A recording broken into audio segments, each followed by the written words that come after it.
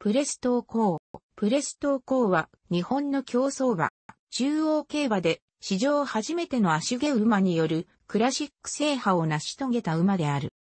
主な勝ち案は、菊花賞、毎日王冠、NHK 杯。半兄に、登る投稿、13勝、内スプリンターズステークスなど重賞5勝がいる。日本で種ボバとなった後、大韓民国へ輸出された。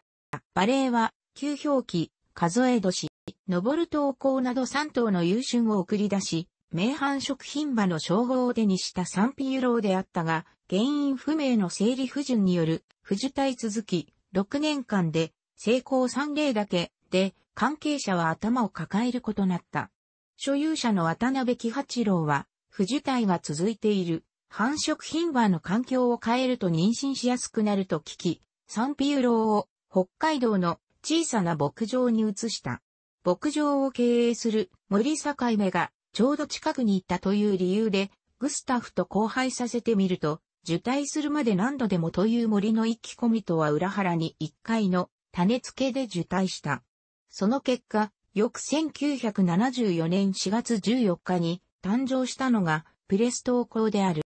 兄と同じ加藤は佐次郎旧社所属となったプレストー校は1976年9月に中山でデビュー。デビュー戦は6着だったが、3戦目となる10月の未勝利戦で初勝利を挙げ、同年12月の風賞300万下、ヒイラギ賞600万下と連勝し、半兄の登る投稿より走るという評判を得た。4歳になると、プレス投稿は、京成杯、東京4歳ステークス、弥生賞を続けて3着した後、クラシック初戦の皐月賞で、ハードバージの13着に敗れた。この頃、プレス投稿は小積筋肉の効果に見舞われ、体調は思わしくなかった。続く NHK 杯を勝ち重賞初勝利を挙げたが、騎乗していた岡部幸夫は、レース後、全く自信がなかった。小積もひどかったし、とコメントした。その後、プレス投稿は、日本ダービーでは、ラッキールーラの7着、当時、残念、ダービーと言われていた日本短波賞ではマルゼンスキーに7馬審査の2着に敗れた後休養に入った。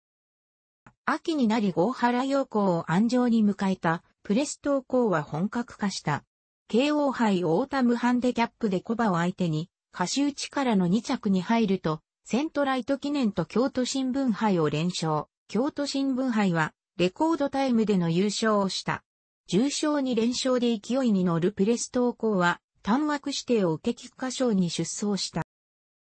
ところが、両親が短距離血統、レコード勝ちの反動、芦毛馬がクラシック未勝利といった要素が悪影響を及ぼし、オッズは同じく単枠指定を受けた。ラッキールーラは愚かマーブルペンスより、下の単勝3番人気に過ぎなかったが、レースでは、ラッキールーラが直線で伸びを欠くのを尻目に、最後の直線で、天命を4分の3馬審査で抑え、前走に続き、レコードタイムで優勝した。プレストーコーが任した相手が、名品の誉れ高い透明、年度代表馬になった関西馬の息子である天命であったため、関西のスポーツ新聞からヒールとして名を馳せたプロレスラー、フレッド・ブラッシーのニックネームと同じ銀髪期というニックネームを付けられることとなった。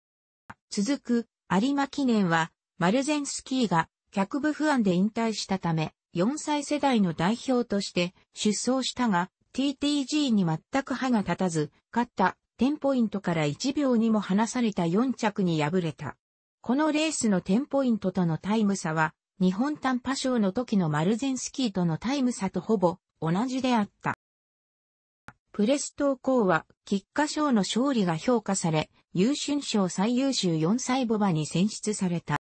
5歳になったプレストーコーはアメリカジョッキークラブカップ4着、前哨戦のオープン戦1着を経て天皇賞春に出走した。グリーングラスとの一騎打ちが予想されていたが、グリーングラスが優勝した一方で、プレストーコーは2周目の交渉面で蔵ずれが発生して競争中止となり、両馬の明暗が分かれる結果となった。蔵ずれになった原因はゴーハラが通常使用している蔵を忘れ、別の蔵を使用していたためだった。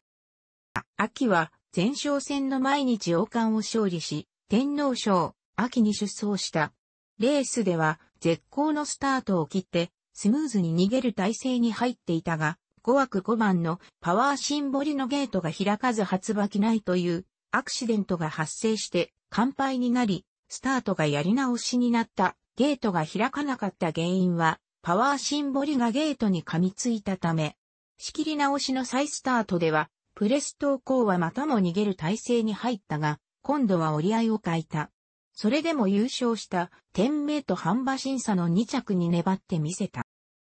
続く有馬記念は一番人気に押されたものの金見信の12着と大敗。レース後、急節炎を発症し長期休養に入った。